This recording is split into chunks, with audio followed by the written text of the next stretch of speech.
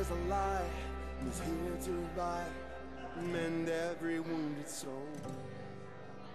And hey, hey, people rise, rise and sing.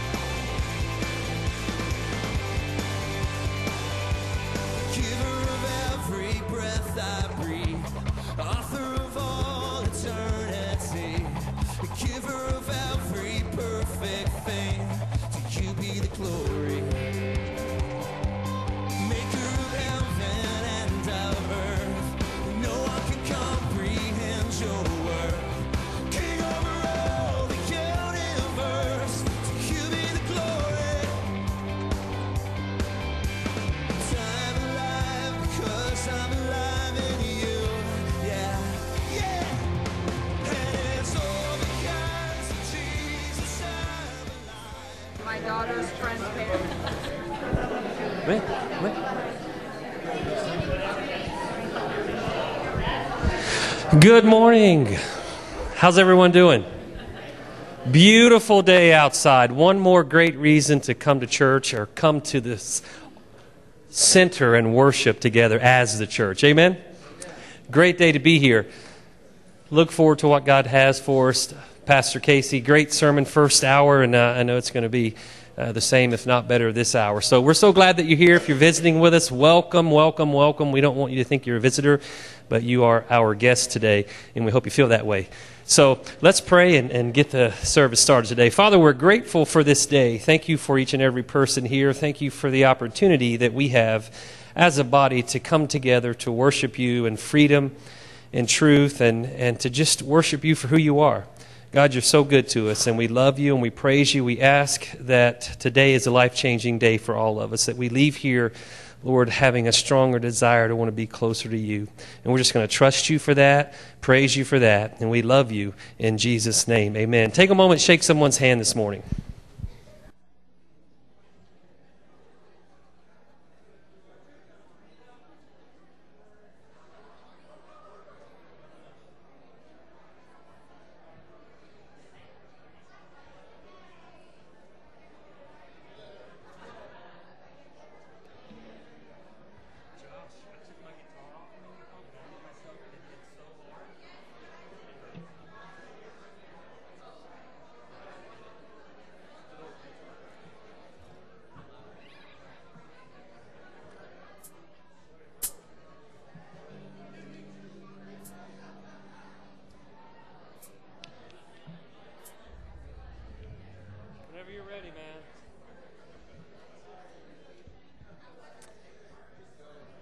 Amen. Adults, if you would find a seat, children, please make your way down front.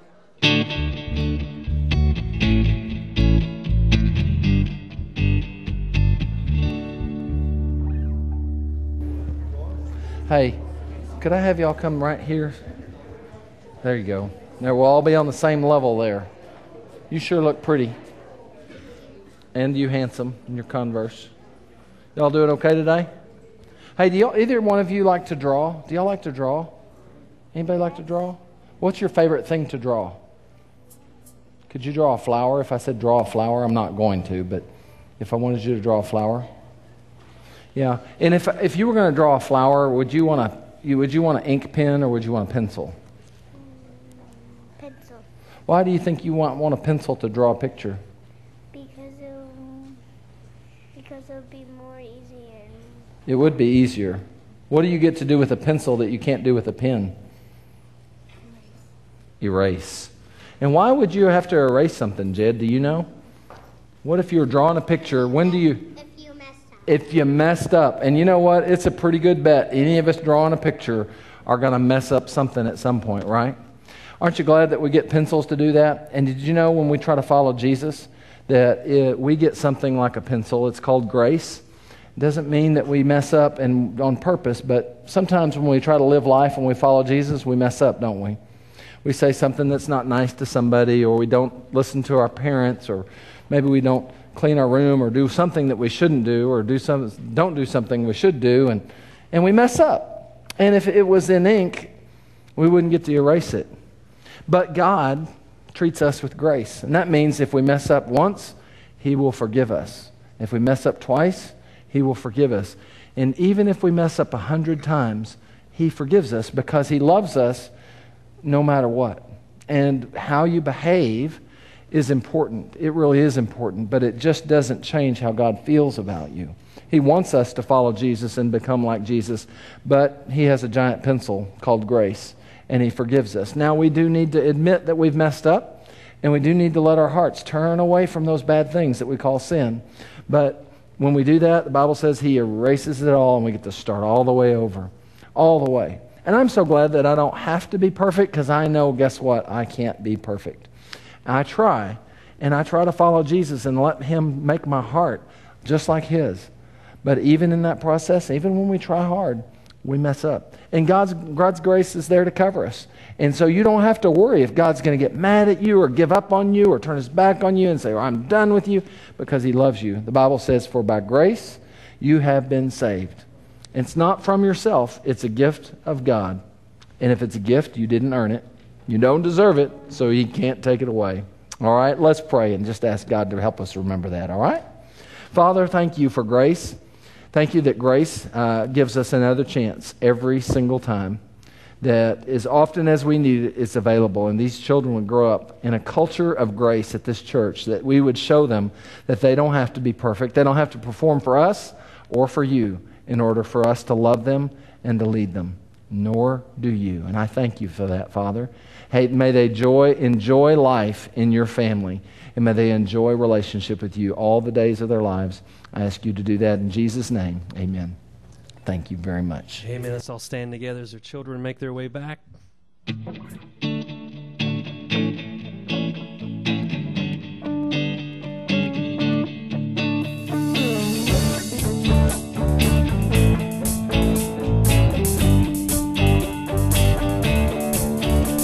Oh Lord, our Lord, how majestic is your name in all the earth. Oh Lord, our Lord, how majestic is your name in all the earth. The heavens declare your greatness, the oceans cry out to you. The mountains they bow down before you. So I'll join with the earth and I'll give my praise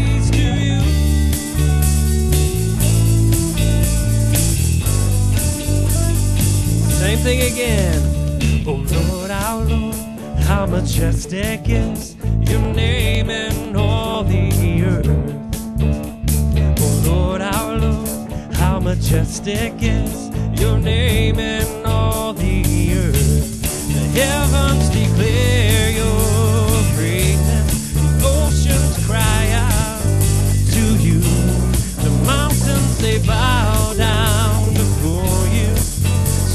join with the earth and I sing. The heavens declare your greatness. The oceans cry out to you. The mountains they bow down before you. So I'll join with the earth and I'll skip my praise to you. Once more. The heavens declare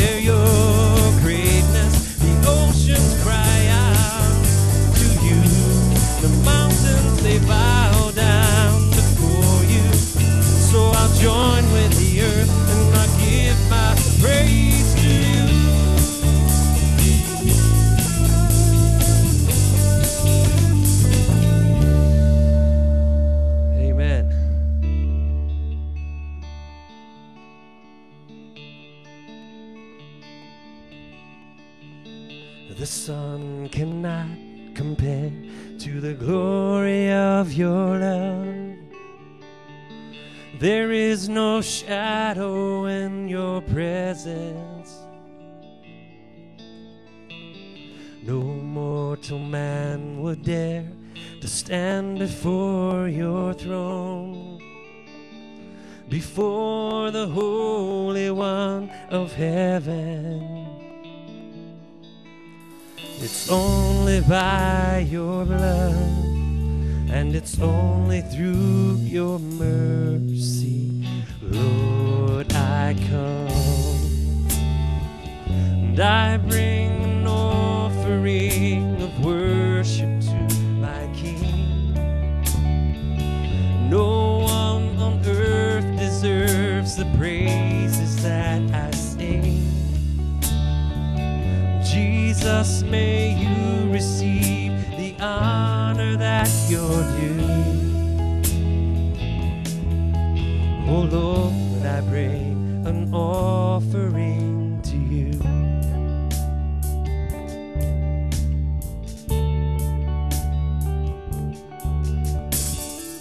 The sun cannot compare to the glory of your love. There is no shadow in your presence. No mortal man would dare to stand before your throne, before the Holy One of heaven. It's only by your blood, and it's only through your mercy, I come. And I bring an offering of worship to my King. No one on earth deserves the praises that I sing. Jesus, may you receive the honor that you're due. Oh Lord, I bring an offering to you. And I bring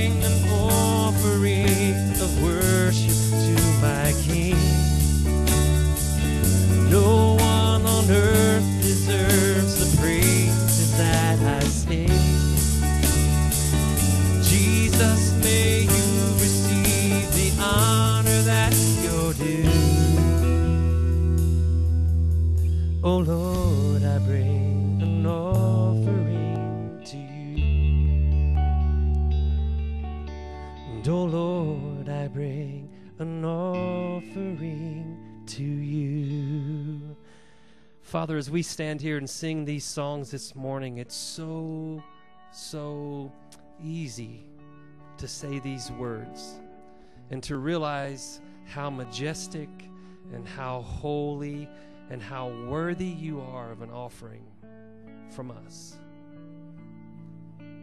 And God, I'm grateful that those things are so easy to realize as a believer. But yet sometimes I separate that from my just love and desire to want to be close to you. And I say these grand things and I'm excited when I hear them said. But Lord, I desire, I know as, as we all do, Lord, to have this relationship with you, as Pastor Casey's been talking about, that we don't have to struggle to want to do, to want to be close to you, but that our hearts just linked with yours. And God, I'm praying this morning that you help us do that. That God, you help us clear the haze, the mist, the dust, whatever, and help us to see you for who you are, and help us to have a desire to want to be close to you. And whatever that may take in our life to do, to change, to, to mold, to shape, whatever needs to be done in our lives, help us, Lord, be willing to be broken and help us be willing to do what it takes on our end to be more like you. We love you today, God, for who you are, and Lord, for what you want to do in our lives. In Jesus' name. and make me broken so I can be healed. Cause I'm so calloused and now I can't feel. I wanna run to you with heart wide open. So make me broken. What a great prayer and make me empty so I can be filled. Cause I'm still holding onto my will, and I'm completed when you are with me. So make me empty.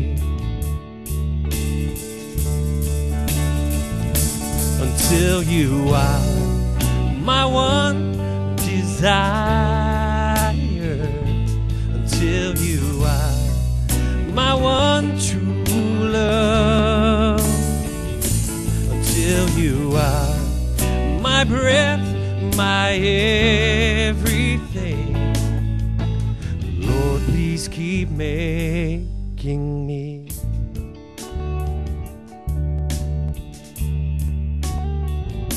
and make me lonely so I can be yours till I want no one more than you, Lord. Cause in the darkness, know you will hold me, so make me lonely. Until you are my one desire. Until you are my one true love. Until you are my breath my everything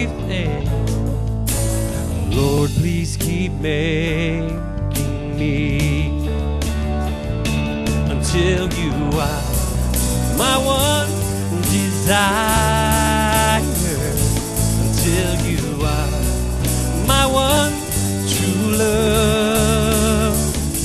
Until you are my breath my everything. Lord please keep making i know you'll keep making lord please keep making me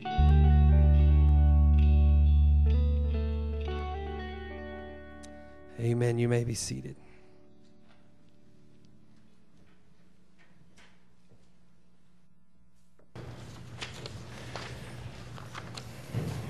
had the privilege of being at the first annual, I hope it is not the only annual, the Challenge Conference for Youth Students at Webster Conference Center in Salina this weekend, and a fantastic time. And uh, had breakout sessions with different, a lot like we do E Week on a little bit of a bigger scale. Uh, but 50 or 60 uh, young men gathered there with the target goal of understanding uh, or, or, beginning to understand their masculine nature and accept leadership as men and become men who would lead in the church. And we had a speaker named John Randall. I, would never heard of John Randall prior to this time. And I, I, came in late to the second time he had led a worship service and spoke. And I was standing right behind him.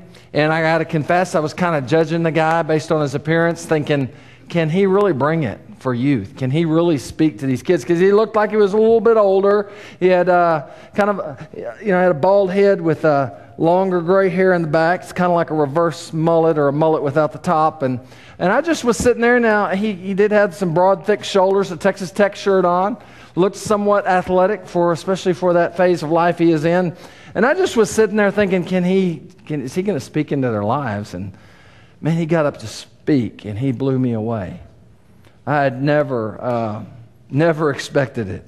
And one of the things I was thinking about on the way home, I was just trying to process uh, what I heard him talking about. And uh, there was a lot of information that came at us in a short amount of time as he spoke. But one of the things that was very easy to remember is says, when life squeezes you, what's inside will come out when life squeezes you, when life caves in, when life put pressure, when life becomes hard and, and circumstances change and the pressure is exerted, what's in you, what's really in you, will come out of you. And I was wondering, you know, is that true? I, you know, it resonated as he said it, and I was thinking, uh, yeah, that's right, that's right. As I was driving, after I'd talked to all the kids until they fell asleep, which was not very long, uh, I think they were fake sleeping too, just because they went talk. Like he's talking. I'm sleeping.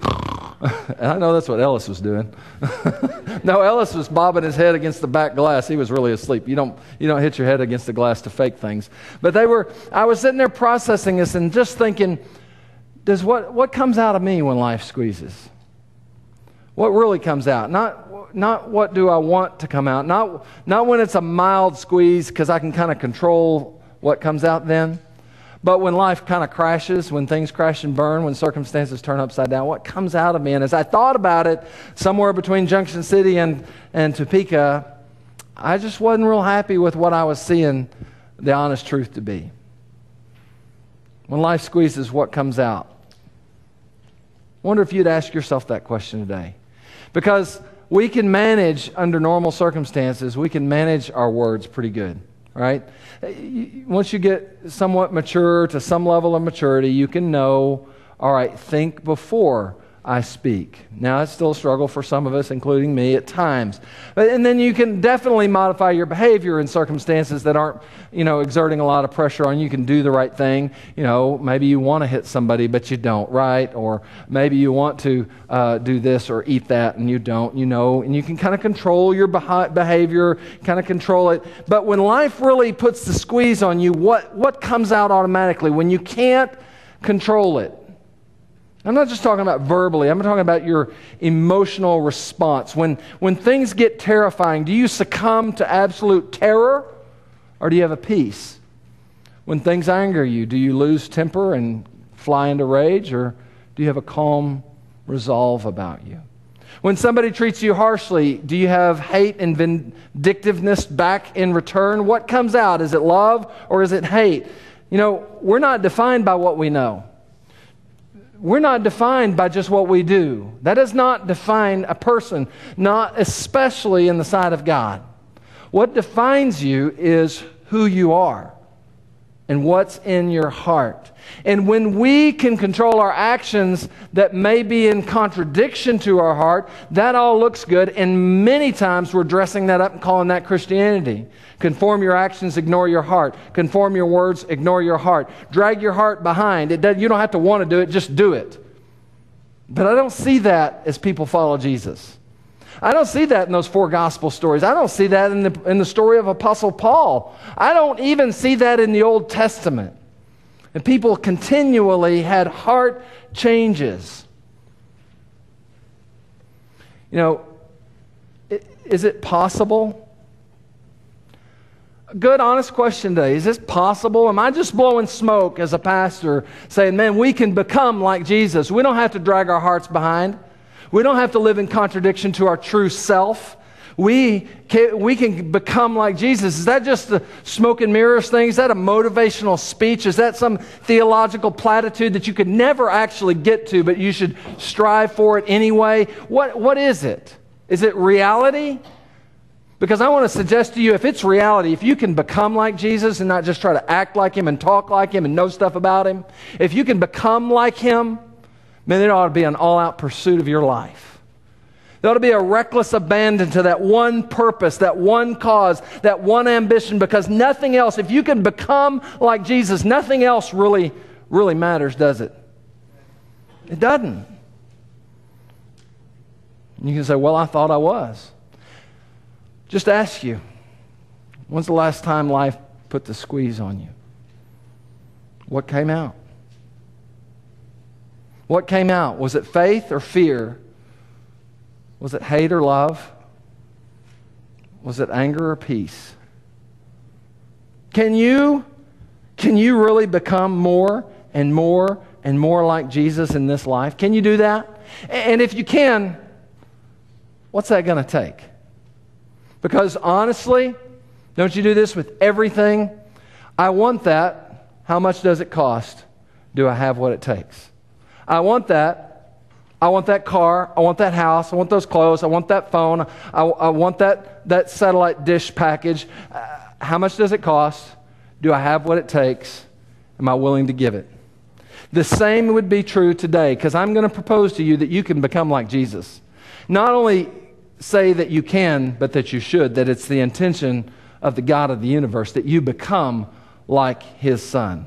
That you don't just learn about him, that you just don't do what Jesus did, that you literally take on the character and the heart of Jesus. Can you become more and more like Jesus in this life? What's that going to take? I want to read you two scriptures that I think get at the heart of that. Romans chapter 8 and verse 29. We often read Romans 8 28, but we're going to read Romans 8 29, and then we're going to look at, at 1 Corinthians, or 2 Corinthians chapter 3 and verse 18. So would you turn there in your Bibles and stand with me as we read those two uh, passages of Scripture? and we stand in the honor of the reading of the Word of God. I left my reading glasses on the bunk at uh, Webster Conference Center, so if you would let me, I'll read off the screen this morning. All right.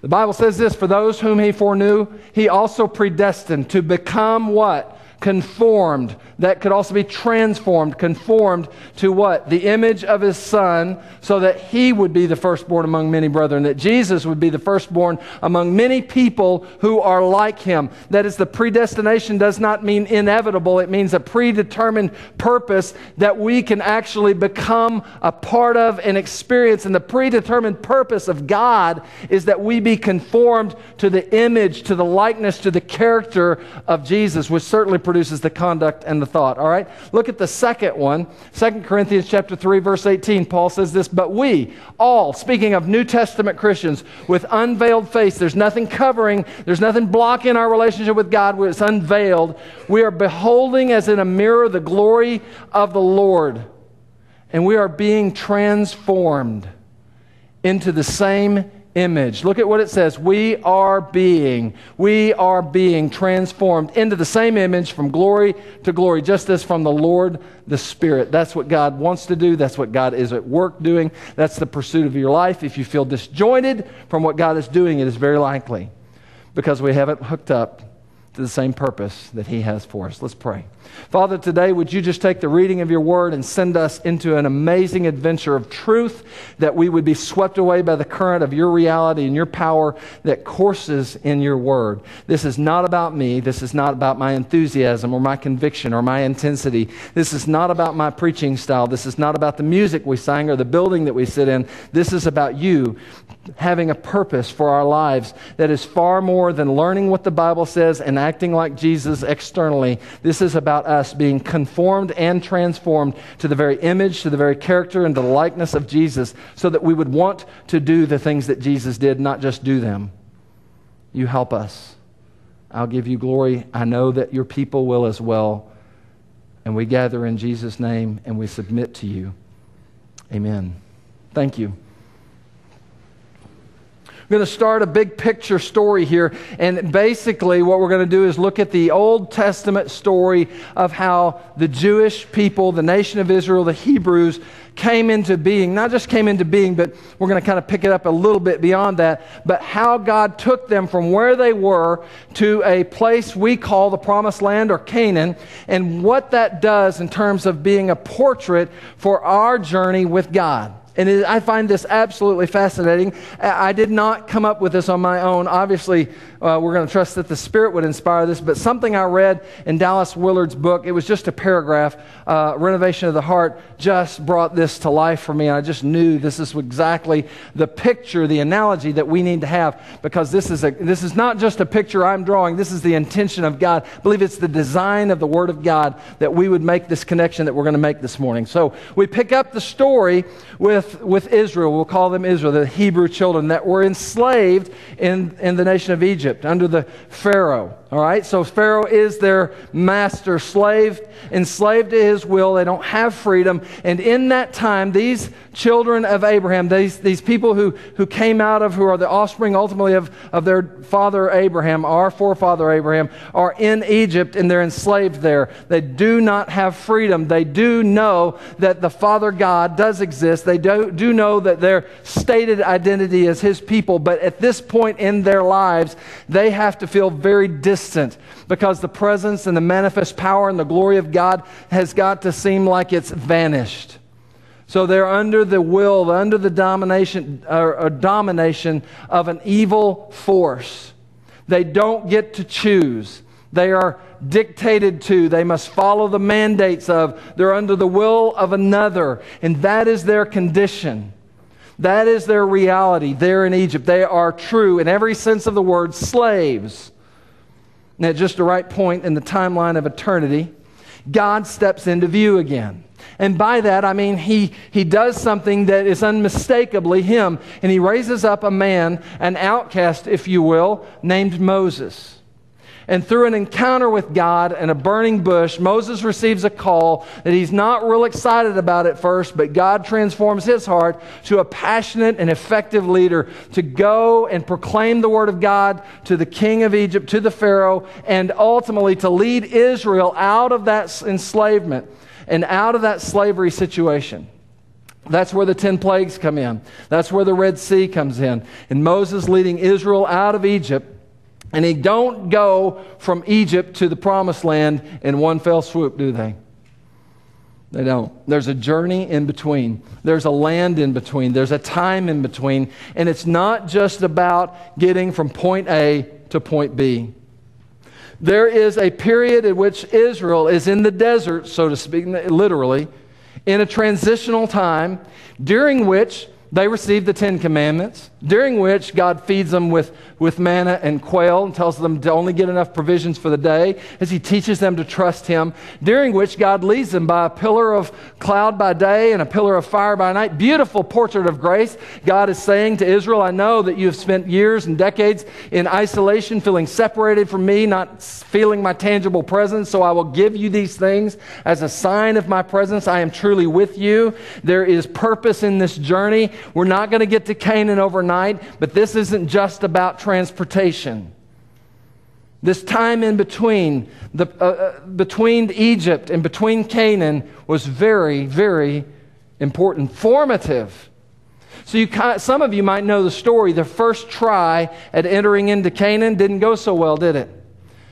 They walked up to Canaan, and I don't know, but I, I just, maybe they didn't have any idea that it would be inhabited. God told them it was a land flowing with milk and honey, not inhabited by giants.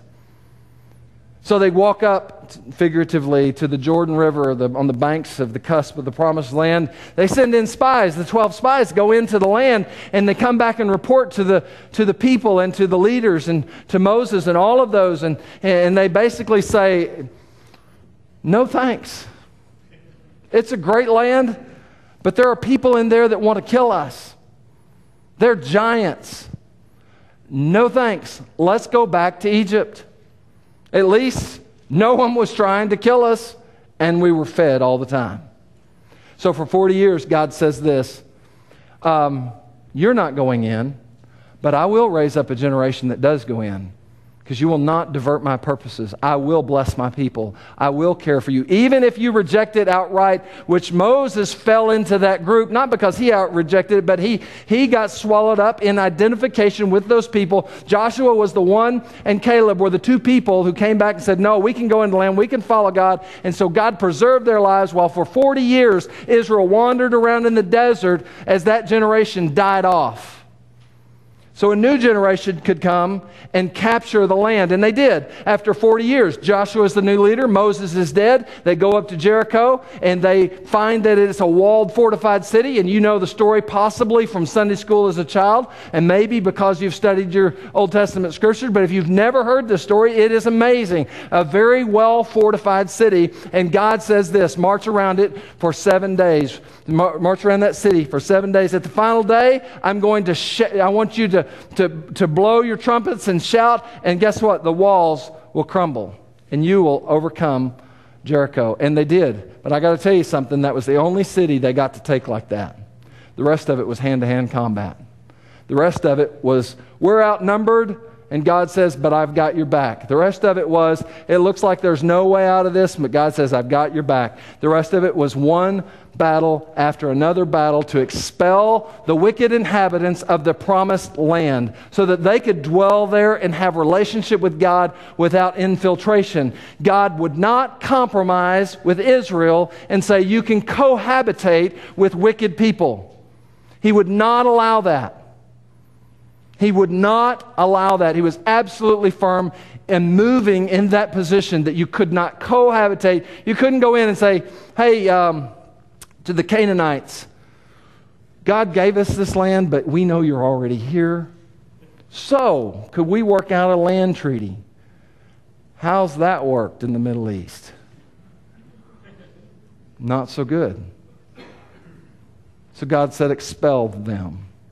Now, that's where I want to stop, but I, I, do want you to see there's two parts. There's the journey to getting to Canaan, but it didn't, it didn't stop. The, the learning didn't stop. The battles didn't stop, and it actually intensified as they got into Canaan. The work didn't stop. They had to expel, they had to battle, they had to do battle. Here's the parallel when we sum it up like this We are like Israel people today, we're enslaved, but we're enslaved to a master called sin. We have one will apart from Jesus, and that will is succumbed to a nature called sin or human nature. Moses is our portrait of the ultimate and true Savior of Jesus Christ, who comes to lead us out of slavery to sin into the freedom to the promised land. What's our promised land? Ultimately, heaven. Canaan was nothing more than a portrait of heaven, a foreshadowing of the true promised destination of all of God's people. And Jesus is the only one that could lead us out of slavery through the transition time through the transition time to the ultimate destination. We're calling the transition time,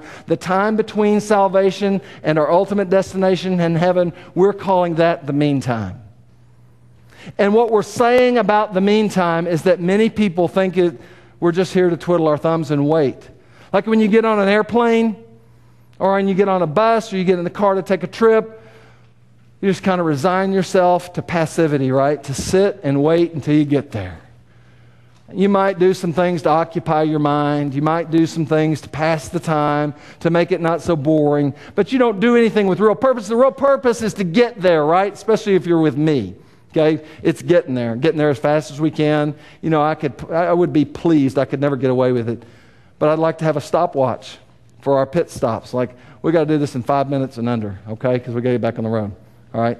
Because really, when I go on a trip, it's about getting to the destination. That is not true of your journey in the meantime. That God has great purpose for you. The tragedy and the reason the church has failed so epically in our generation to infiltrate the culture, to change the world, to bring people in mass to faith in Jesus, the great reason we've done that is because we've, we've minimized or ignored or been unaware of how significant the purpose of the meantime really is and what it's about. We have been okay to say, it's all right. In the meantime, we will learn God's word. We will know it. We will even memorize it at times. And if we don't want to memorize it, we'll make our kids memorize it in Awana, right?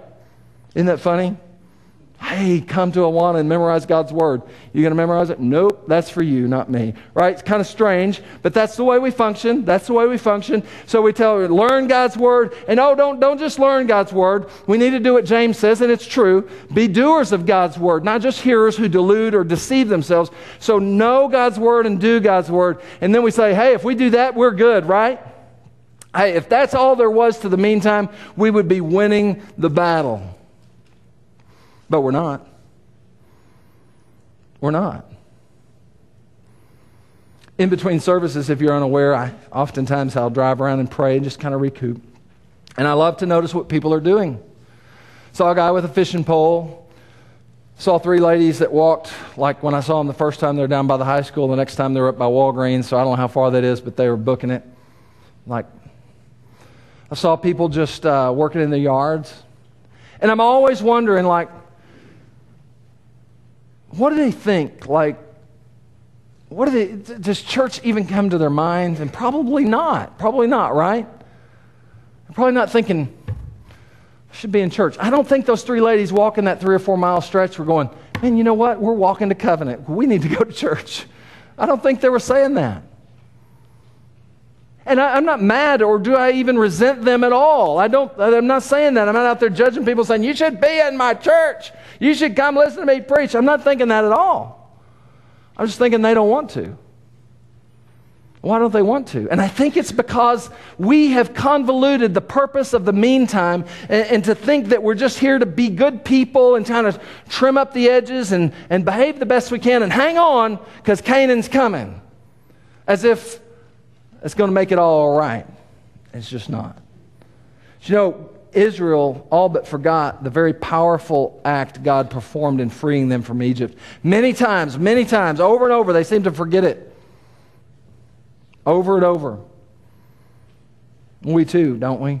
Don't we forget that we've been freed from our enslavement to sin? Don't we act like that's no big deal anymore? That God conquered the sin problem for us, that God conquered death? Don't we live like we're still enslaved to that sometimes? Isn't it hard to tell some Christians from non believers today if you were just to evaluate them on the conduct of their life or how they react when they squeezed, when life squeezes them? Isn't it hard to tell that we, we you know, we can, get, we can read this Old Testament and go, man, how could you forget the plagues? How could you forget the Red Sea. How could you forget the quail and the manna just kind of coming down from the sky? How could you forget a pillar of fire by night? How could you forget the Ten Commandments? How could you forget all that stuff?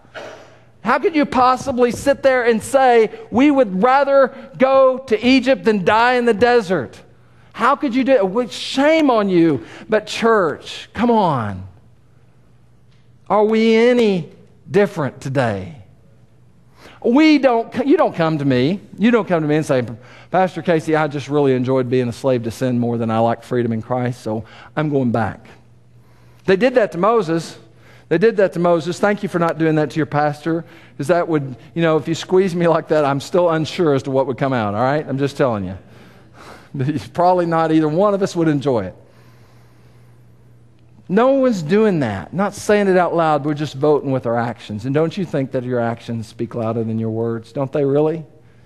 Don't the ambitions of your heart, the desires of your heart, don't the attitudes that you have, the stuff that comes out when you're squeezed, doesn't that really, really vote about what you really like, what you really value? See, this journey, this transformation of the landscape of our hearts, it it is a real deal thing. It's very, very important. It's not a sideline job. It's not a part time job. It's the real deal. It's what it's all about. But listen to me the, the, the way that happens, the only way that's going to happen, is by the grace of God moving in and of our lives. And when I say grace, when I say grace, I do believe that most of us have a very initial, shall I say, understanding of grace. That is, grace is God's unmerited favor. True. Grace is God's unmerited favor. But the more you study grace, the more you will understand that the term grace comes with an inherent communication of God's present transforming power. Oftentimes, Paul speaks of by grace he was able to do something. That is, he speaks of it like he would speak of electricity coursing through a wire to produce light, to produce energy. That God's grace is not only uh, an unconditional standard before God, God's grace is not only his, his uh, benevolent, uh, un, unmerited uh, feeling or sentiment towards us, but is, it brings an effectual, changing, life altering power into our lives.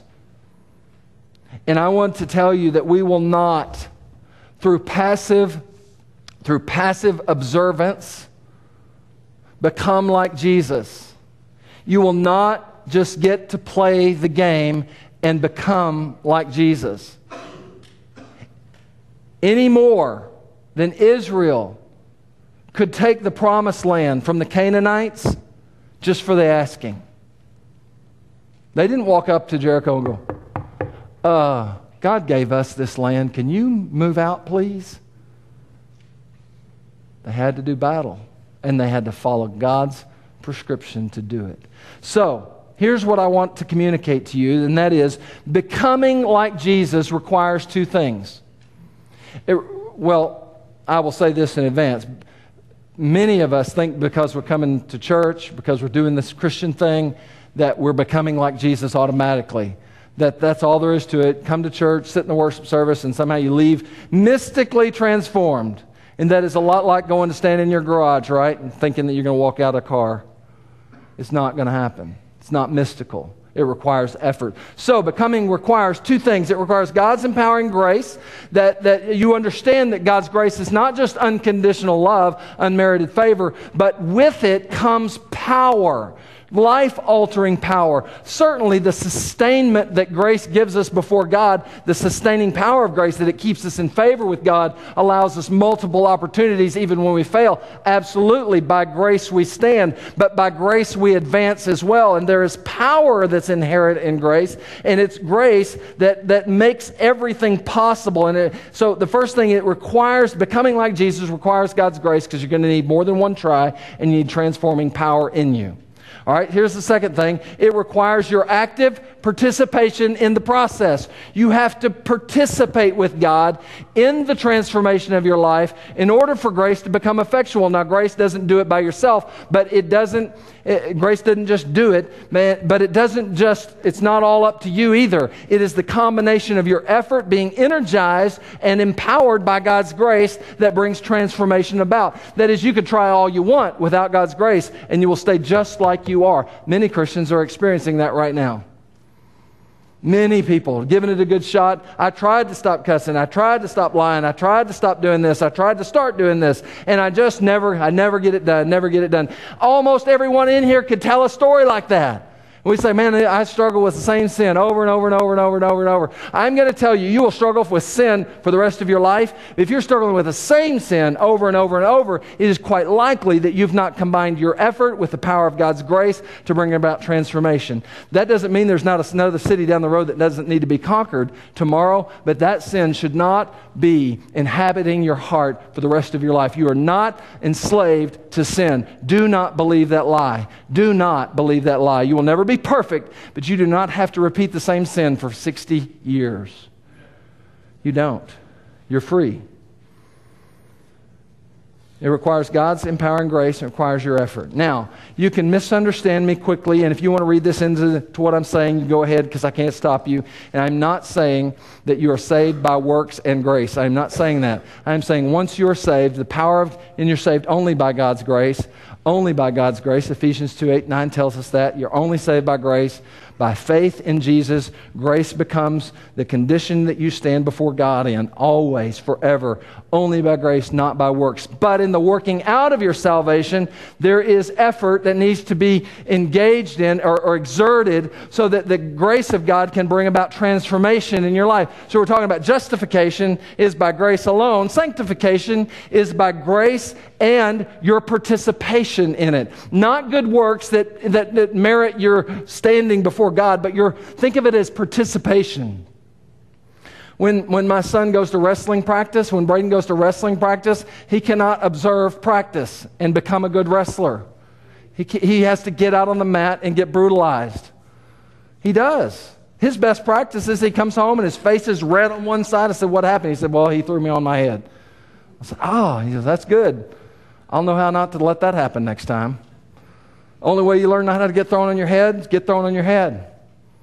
He has to participate in it and he becomes better at it. The only way that Tanner becomes a better guitarist, he can't sit there and say, Man, that guy is an amazing guitarist. He has to put his fingers on the guitar, he has to work out his talent and ability. And in grace, he empowers, we are empowered to do that to a level that would otherwise be impossible. So don't think it's just your effort, it is the empowerment of God. It's like turning on the switch when you participate. I can't just hope the lights come on, I have to turn them on. Then the power power that is inherent in the electrical system of our church makes the lights come on. When you participate with God in the sanctification process and becoming like Jesus, the coursing of God's powerful grace sustains the effort and makes it possible that which would be otherwise impossible. If you're frustrated with sin today, the same sin, if you've not expelled that, that, that wicked inhabitant of your heart, whatever it may be, and you're just resigned to say, Well, I'm glad I got grace because I sure can't conquer this sin.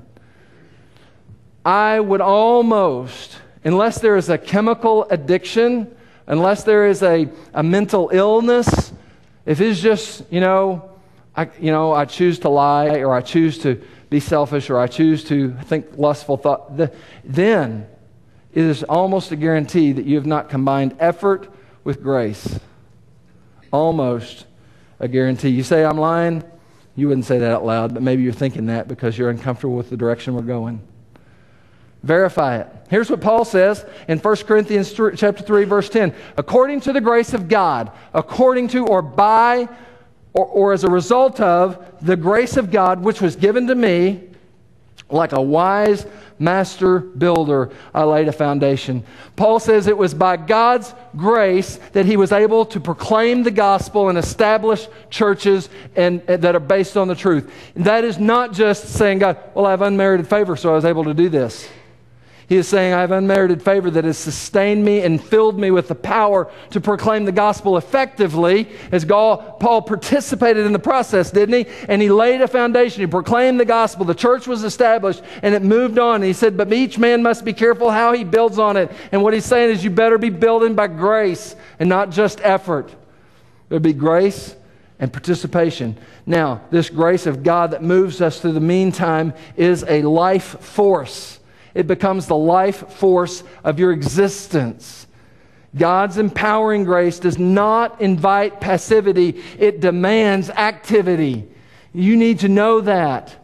Saved by grace, saved by grace all day long. Sing that song, whatever you want to do. But you need to know that when it comes to sanctification, when you're moving beyond just being justified, getting a ticket to heaven, right standing with God, sanctification requires participation. You have to be a part of the game. You can't just sit back and watch and cheer on the team. You have to engage. Yes, you might get bloodied and bruised. Yes, your fingers might get sore. Yes, you might get assaulted here and there. But the only way you're ever going to gain ground is to not sit back and say, Woe is me, I'm just a sinner saved by grace. Woe is me, no one's perfect. The only way you're going to is get rid of those excuses, get in the game, and read God's word, pray, fellowship, and worship, and do the things that we're going to talk about in the days ahead that will allow God to actively move in your life and change not just your conduct, not just your knowledge, but your heart.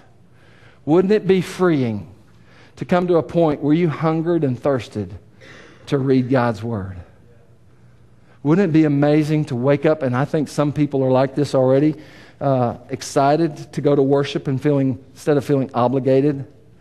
Wouldn't it be awesome to truly desire to be generous? Wouldn't it be amazing that if somebody slapped you, you could love them? That'd be your gut that you would be broken for them and their hatred that's dominating their life. Wouldn't that be amazing? What a way to live. Isn't that a very different picture than saying, hey man, if someone comes up and punches you, turn the other cheek? And when you tell a guy that, a guy especially that, you're like, what? You want me to just back down? What, you want me to just let somebody beat me up? You want to just, and that's your heart, right? Defend self, uh, advance the cause, stand up, don't get beat up. And that's your heart. That's your defense mechanism, right? That's what you do. Natural man does that.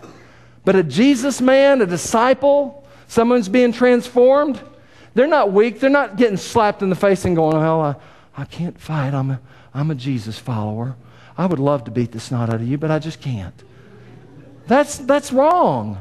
But that's how we think of it, isn't it? But what if somebody, when Jesus is getting brutalized, I've said this three weeks in a row, his cry, his heart cry, he wasn't playing games. He wasn't just saying, hey, this is going to be written down in a book called the Bible. I better say something good. He said, he said, Father, forgive them. They don't know what they're doing. That was his heart. Forgive the people that just pulled my beard out, spit on me, mocked me, made fun of me, and ripped the skin off my back. Now, nailed hands and feet to a cross are going to plunge a spear into my side, laugh while they're doing it. Forgive them. They don't know what they're doing. That was his heart. wasn't a performance. Wasn't a performance. Listen to what Dallas Willard from Renovation of the Heart says. He said, The land promised to Israel was one of incredible goodness, flowing with milk and honey, quote unquote. That's a description of bounty and luxury. As it is repeatedly described, he says, but it still had to be conquered by careful, persistent, and intelligent human action. Let me say that again. Dallas Willard says it still had to be conquered by intelligent, by, by careful, persistent, intelligent human action over a long period of time. That is why the initial effort didn't go through. That's why those people backed out, died in the desert, because they did not want to invest persistent, careful, intelligent human action. They were thinking logically, they were thinking naturally, they weren't trusting God, and they said, God, if you had brought us to a land uninhabited, we'd go right across. But because it looks inhabited and formidable, we don't believe your promise anymore because it looks like it's going to what? Require too much of us. Joshua and Caleb, awesome. Love these men. God said we could have it, so he must have meant that. So we should go. The other 10 said, Nope, I don't believe God. Joshua and Caleb said, They don't believe God. They don't believe God. We're going back to the desert. But Joshua and Caleb, can you imagine the victory they felt when they crossed Jordan? When they took the land? They got to be going, see, I knew we were right 40 years ago. We were right. We were right. See? We were right. Look, the walls just fell down. Can you believe that, Joshua? The walls just fell down. And God's saying, I'm with you. Here's the picture the walls fall down when you're saved, right? You say, Jesus, come save me, come rescue me. You shout to God. The trumpet of faith is blown, and the walls of sin fall. That'll be the only time you get victory that easily. It's given to you by faith. Every other city, hand to hand combat. Lust, greed, hate, slothfulness, materialism, one battle at a time. No more trumpets.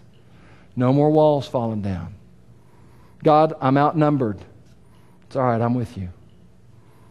God, it looks bad. I know, but I'm with you. There's no way we can win, but I'm with you. If the process of our hearts being transformed into Christ's likeness is the process of Israel conquering the land of Canaan, we have to see that it's going to require the same careful, persistent, and intelligent human action over a sustained period of time. I'm just going to go off notes because I want to tell you this and I'm done. I don't, I've been here almost nine years. We have been, my family and I. And I'm battling something. It's, it's hard. I've told Kelly this just in passing, and it's just getting harder it's just hard to see, you know, numbers bug me. I know they're not the measure. But two years ago, we were running 220, 230. Today, we run about 170, 180. It bugs me. Is it right? Does it matter? Probably not.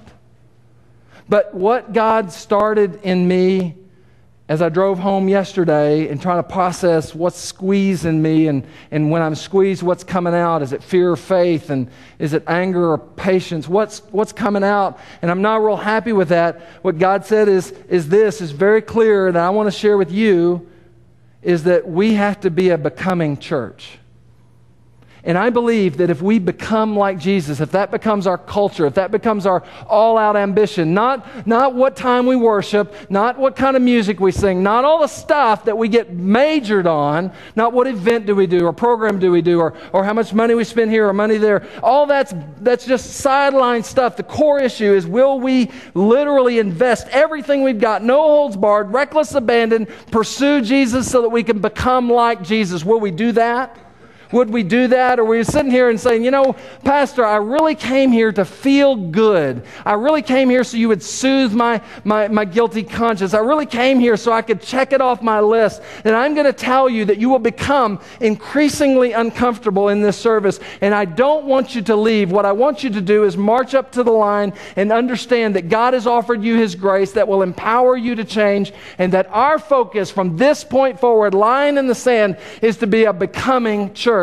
A church that is investing in people so that we can become like Jesus in our hearts. I do not want to read the Bible for the rest of my life because I'm supposed to, but because I desire to. I don't want to pray to God out of obligation or duty or just claiming some sterile promise that, that it doesn't mean anything to, but I think I got some leverage with God to get what I want, so I pray. I don't want to live like that. Do you? Do you? So then let's vote with our hearts. Let's say, Pastor, you should be tell, telling me, what are we going to do? I'm all in. I don't need to know what it's going to take, but I want to know how to get there. What are we going to do? Because I want to become like Jesus. Isn't it, isn't it funny when Jesus said, You're a city on a hill that can't be hidden? I'm going, I think we did a pretty good job. You're the light of the world. Hmm. This little, little, little light of mine. But what if you became like Jesus? What if your heart changed? Not just your head, not just your hands. What if you rejected passivity as a way of thinking about life and assuming that we're no longer responsible to engage the process of becoming like Jesus? It's just going to happen like standing in the garage is going to make me into a car. It's just going to happen. It's just going to pass. It's just going to. Doesn't happen. Look at the last time life squeezed you and what came out. I'm not talking about a bad word. I'm not. Not worried about a bad word here and there. I don't, I don't care about that. I'm talking about hate. I'm talking about selfishness. I'm talking about envy. I'm talking about worry. I'm talking about anxiety. I'm talking about fear. I'm talking about those kind of things. What's coming out of us? Passivity will never, ever lead to spiritual formation of our hearts, ever. Here's one last quote, and we're done. The land promised to Israel is one of, I'm sorry, this is the other quote. Still on, still messed up Willard says this In both cases, grace means we are to be and are enabled. That is, grace is a standing, grace is a power, means we are to be and we are enabled to be active to a degree we have never been before. Have you tapped into grace? Or are you just enjoying right standing and unmerited favor because it gives you some license to sin? Are you tapping into the power to a degree that you've never experienced before. There is an unrelenting provision of grace living, coursing in your life through the presence of the Holy Spirit. We made this one point last week that, that life in the meantime is about becoming like Jesus. Remember, we go where Jesus goes, we learn what Jesus teaches, we do what Jesus says to do, not and we don't put a period there. We put an and or so that we can become like Jesus. We have failed if we just learn. We have failed if we just do. We will succeed inevitably if we become.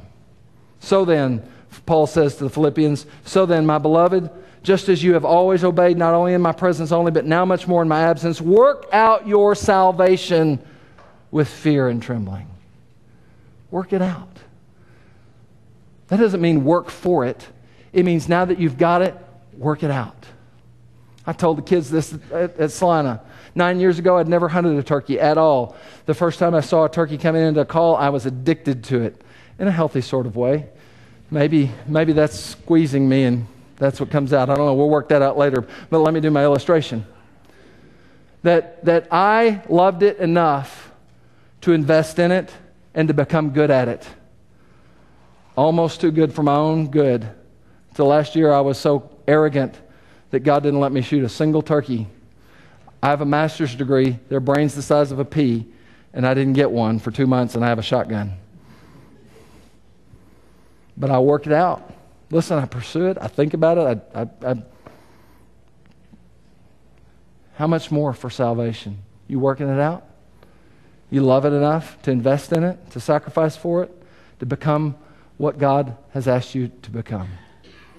Hey, if you're a first time guest here, and we have several today, thank you. Because you're here at a turning point. You're here at what we're going to be, not just what we are. You're not joining a club that is status quo, you're joining a movement of God. And we want you to come back. We want you to be a part of this. Let's become like Jesus together. Let's pray. Father, you are good. You really are good. And I don't say that because I don't have anything to say right now. You're truly good.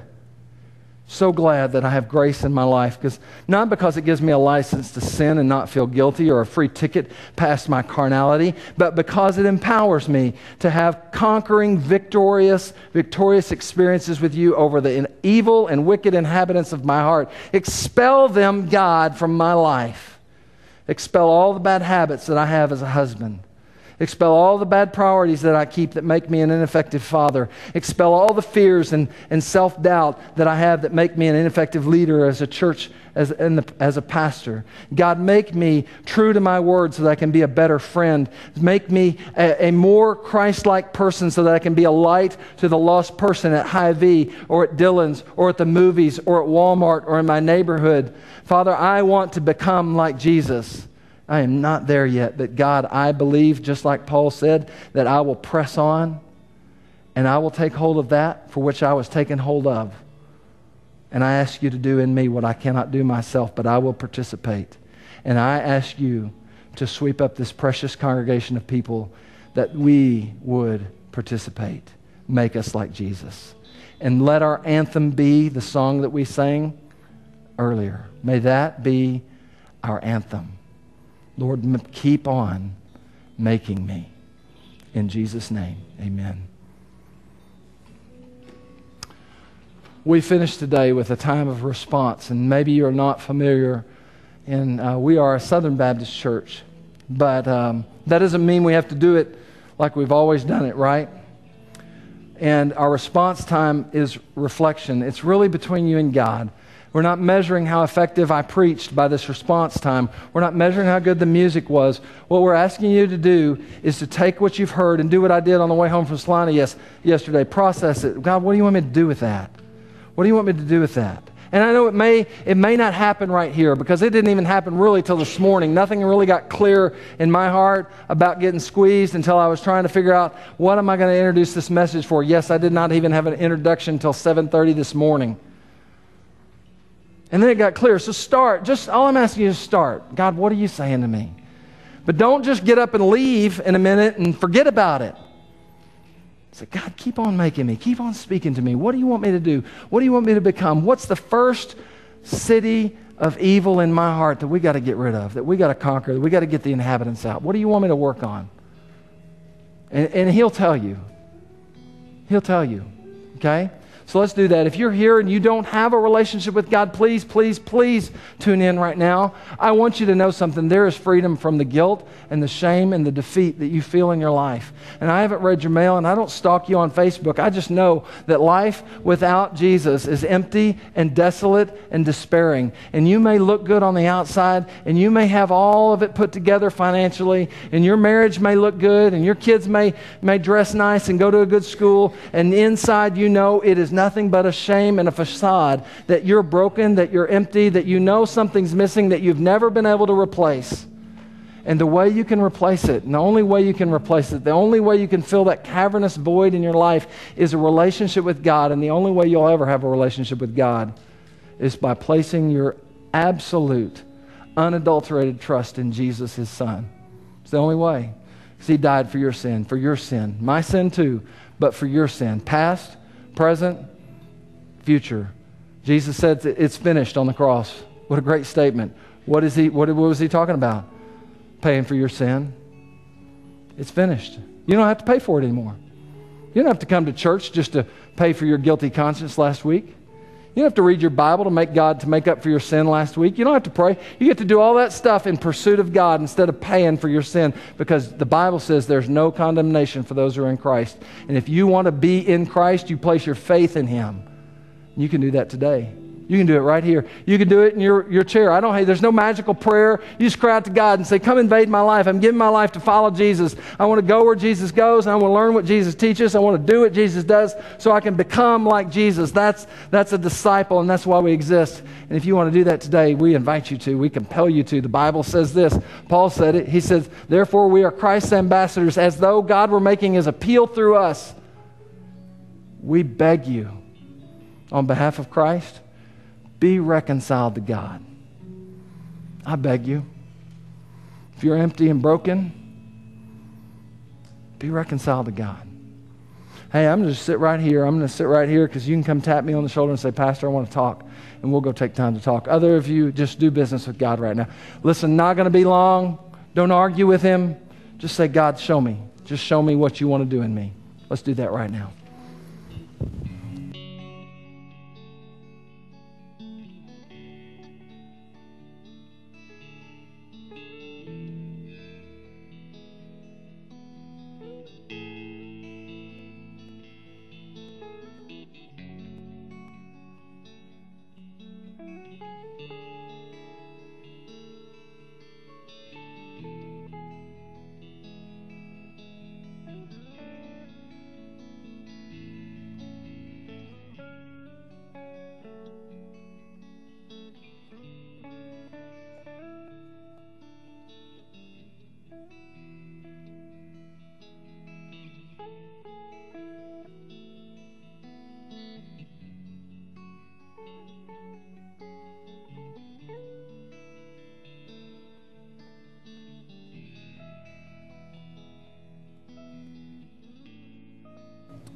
Father, I wasn't expecting to hear from you like I just heard from you in those few seconds.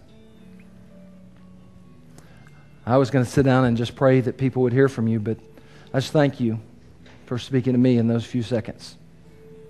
God, help me to carry through with what you just put on my heart. May all of us carry through with what you put on our heart. Clarify for those that are still not clear be unrelenting in your pursuit of them to convict them and to bring clarity to your message to their lives that it's not about performance, it's about transformation.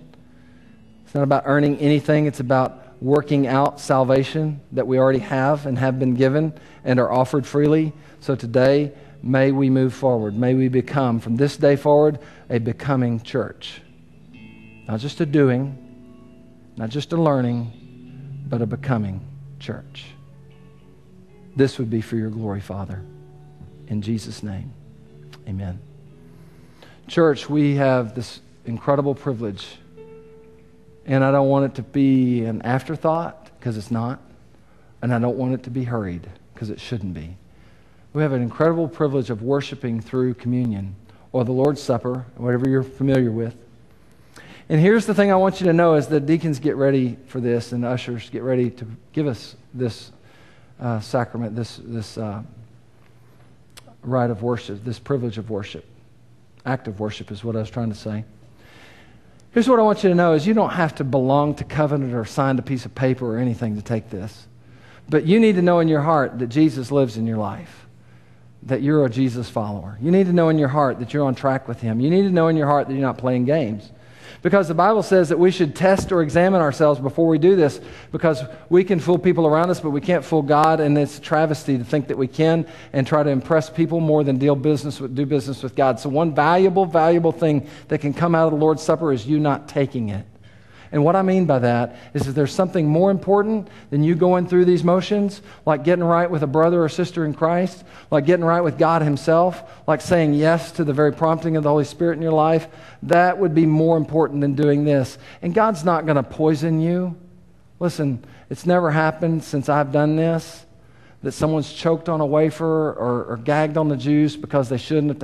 It's not about that. Not, God's not going to zap you. There's no condemnation left. But there is no reason for you to pretend or pose today. None. Okay? Just be real with God. If you feel like this can be a true, authentic act of worship for you, participate. I don't care if it's your first time to sit in this worship center or your 150th. Participate. Let it be. But you feel no shame at all in just letting that pass by you. If you got other business that's more important than this, do it first. Okay? The bread. It represents the body of Jesus. That Jesus walked on this earth. I was struck by this in the first service. It was a long ways from here, it was a long time ago. But Jesus Christ trod the same earth that I'm on right now, the same earth you're sitting under. The same sun that shone on his skin and tanned his hide was the same sun that came up this morning. Jesus was in a bodily form on this earth, God in the flesh, and he suffered for us. He suffered for us. God suffered for us to get us to Canaan, to get us to heaven. But he didn't stop at suffering, he paid the full price. He died. And the juice that we take represents his blood. The Bible says, apart from the shedding of blood, sin cannot be atoned for. That is, life has to be given. And only an innocent life could atone for guilty life. And there was only one innocent life, and that was Jesus. And he died for you so that you could be right with God. God made him who knew no sin to become sin for you. Why? So you could wallow in sin some more? No so you could become the righteousness of God in Jesus. That's what we're declaring, and that's what we're celebrating. Let's pray. Father, as we take this, help us to worship and to declare to you our faith and let our faith, the gospel of Jesus, sink deeply into our hearts. Thank you for a tangible reminder of what can be an oftentimes very intangible reality. Now make it real as we worship you. In Jesus' name.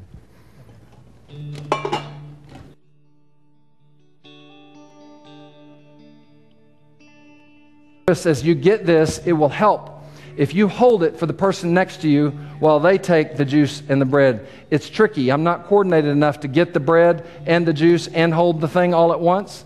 So help each other out. It's a picture of unity, brotherly love. All right, help a brother, help a sister out, all right?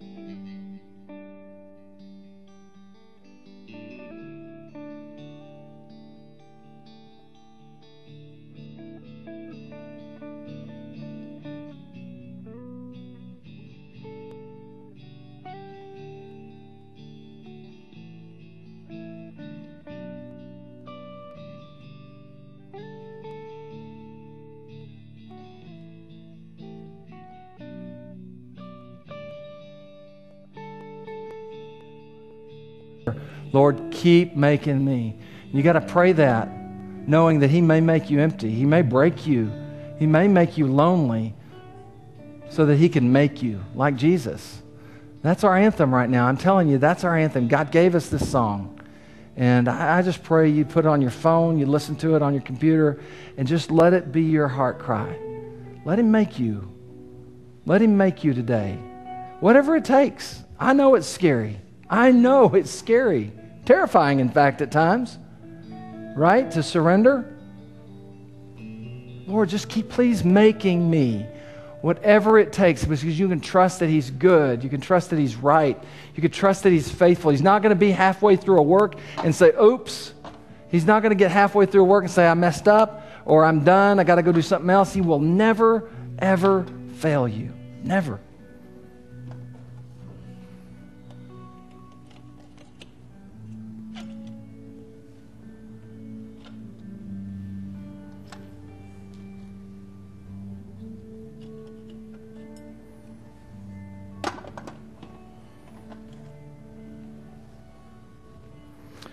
Just going to remind you one more time this is not going to make you like Jesus. It's not a pill, it's not a substitute for the work of the Holy Spirit. It's a declaration of your faith. It's a tangible reminder of a very, what can be an intangible reality of the kingdom of God living in you. Declare it with faith. Very simply, you remind yourself this represents, this is the body of Jesus.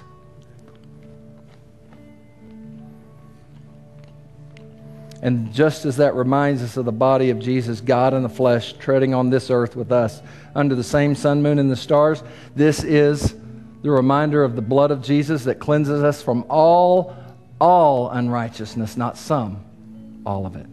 Do this in remembrance of Him.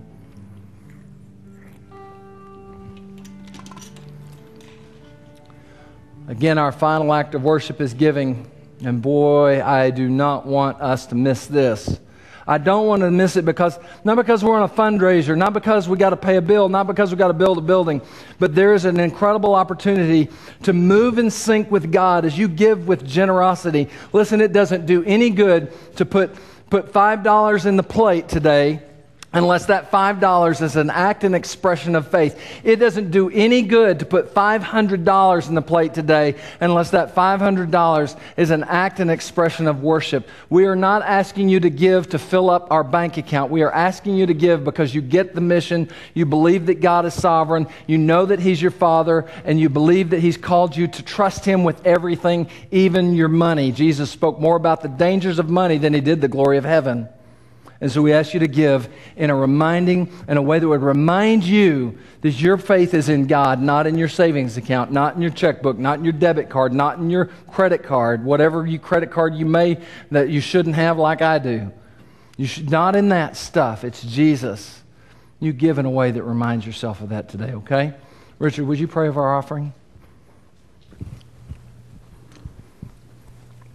Heavenly Father, we thank you for your provision for all of us, uh, material, uh, spiritual, or bodily needs. But Lord, help to guide us to a transformation that we may become more like your Son, that we may learn your purposes, that we may not only follow you, but let us lead others to you and teach them to follow. We ask your blessings upon the portion of your bounty that we're giving back today. Lord, we confess that many times either the bounty is not there or the heart's not there. And Lord, Help us to change all these things in your name to the following of Jesus Christ. Amen.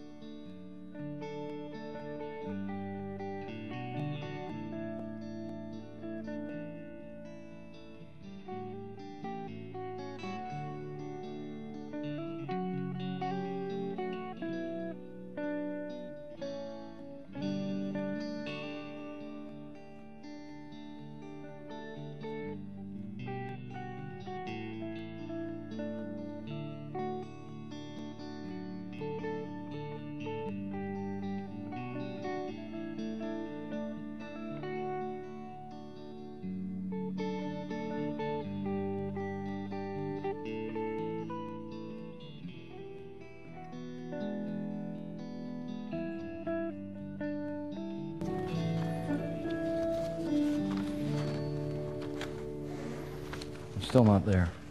Hey, thank you. Just real quick reminder. Uh, we are uh, switching times, worship service times on June 1st.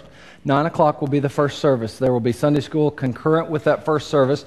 We'll have a break at 10.15.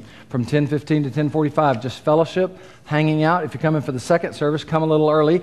If you've been here for the first service, stay a little late and connect with each other. One of the great benefits of this is that we get to see the other people that come into the service, and we built that time in to do that. The second service goes from 10.45 to 12 o'clock. All right? So that's coming up June 1st, and we want you to be here. And uh, oh, offering for today for the benevolence offering, they'll be taking that at the end. A real quick divorce care for kids announcement, and then we're done. Okay, I just want to talk about divorce care for kids. We have an opportunity this summer for children and for teens starting May 13th and every Tuesday in the summer. We have a, a great support group for for kids, and it's for kids that are in blended families, have been through divorce, separation, maybe they never lived with a parent.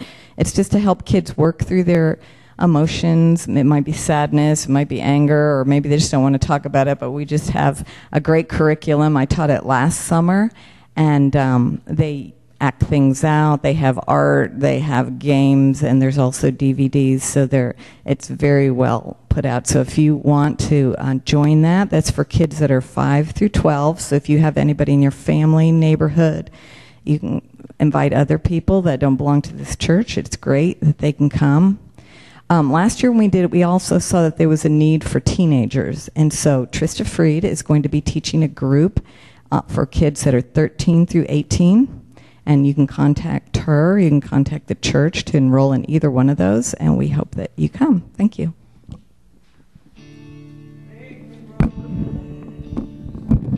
So I can be here, cause I'm so calloused, and now I can feel. I wanna run to you with heart wide open. So make me broken. And make me empty so I can be filled. Cause I'm still holding onto my will. And I'm completed when you are with me. So make me empty. Until you are my one desire. Until you are my one true love. Till you are my breath, my everything please keep making. I know you'll keep making. Lord, please keep making me.